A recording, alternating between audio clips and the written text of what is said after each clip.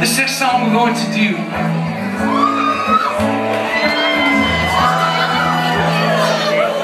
It's one of the first songs young Mr. Page and I wrote together. We're sitting around a campfire back home smoking a. When he came up with this riff on his folk guitar. And at the time I was reading a book written by J.R.R. Tolkien, inspired the lyrics for song. It's called